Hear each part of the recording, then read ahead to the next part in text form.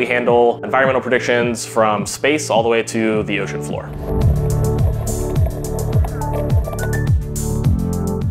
In the past decade, the Navy's realigned the METOC community into the information warfare community because we've realized that all of those fields play very closely together.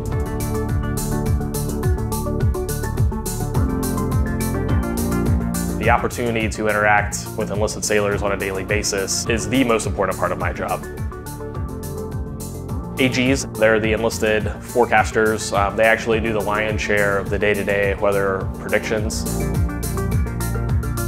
We do provide briefs to all pilots before they take off.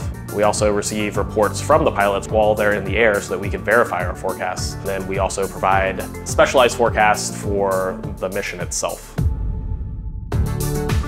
We do real-time observations in the outdoors.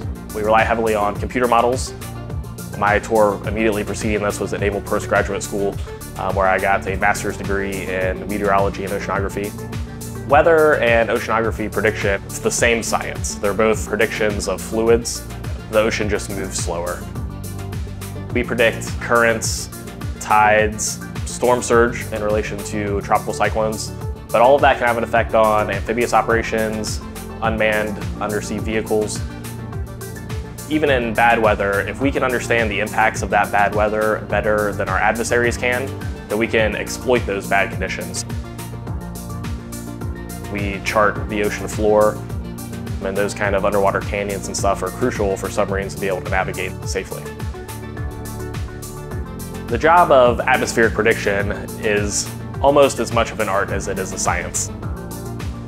I'm really able to dig deep down into those models and see the story that they're trying to convey.